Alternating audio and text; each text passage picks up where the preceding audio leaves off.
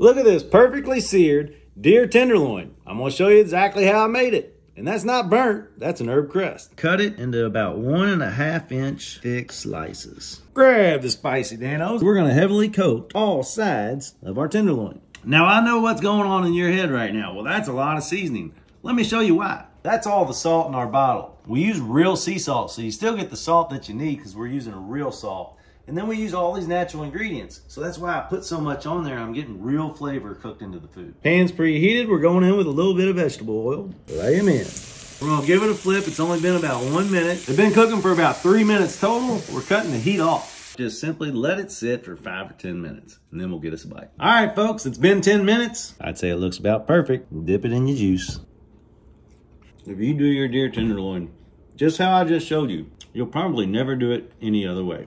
That's the Yum Yum. Get you some. Enjoy.